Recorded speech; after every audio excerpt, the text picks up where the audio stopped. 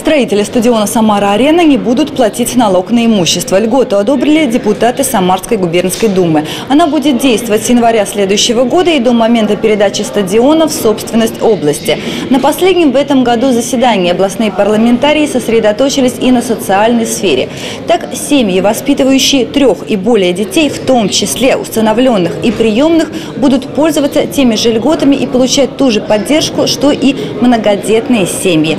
Таких семей в регионе регионе больше 400. Одобрили и еще одну инициативу. Теперь многодетные родители не будут платить транспортный налог на один автомобиль мощностью 110 лошадиных сил. Раньше лимит был только 100 лошадиных сил.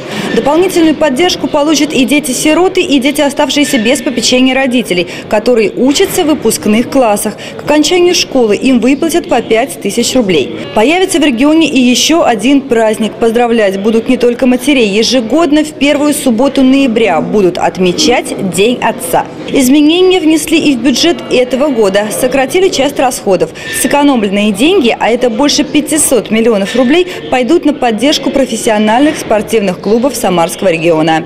Мне хотелось подчеркнуть очень серьезную и активную и большую работу совместно с правительством а, Самарской области по отработке и принятию бюджета. А, Самарская губернская дума является лидером а, среди других субъектов Российской Федерации по законодательным инициативам, которые направляются в Государственную Думу.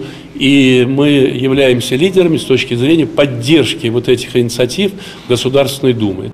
Перед Новым годом подвели и итоги работы. Губернская дума в уходящем году не только обновилась, но и приняла полторы сотни областных законов и больше 350 постановлений. В Государственную думу направлено 13 проектов федеральных законов. Марина Кравцова, Василий Колдашов. События.